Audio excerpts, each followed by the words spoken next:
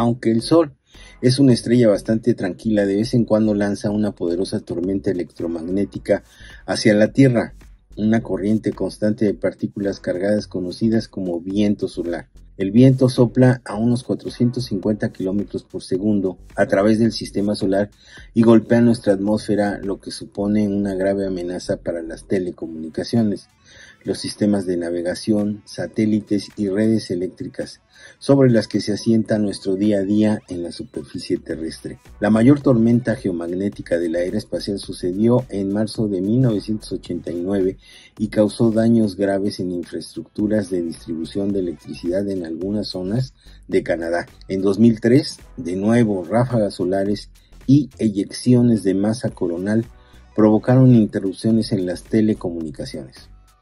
Se observaron auroras boreales en el sur de Texas y en países mediterráneos, además de apagones en Suecia.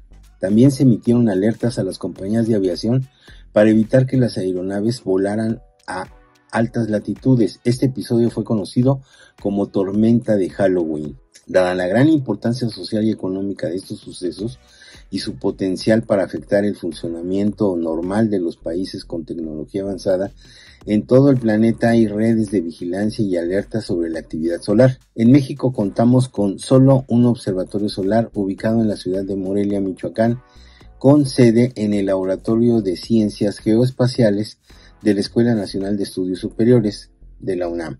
El responsable es el doctor Mario Rodríguez Martínez. En este observatorio se efectúa el monitoreo constante del Sol. Astrónomos y estudiantes de la UNAM desde 2015 capturan a diario cientos de fotografías de la atmósfera de la estrella en su totalidad. A fin de obtener estas imágenes, las instalaciones cuentan con dos telescopios.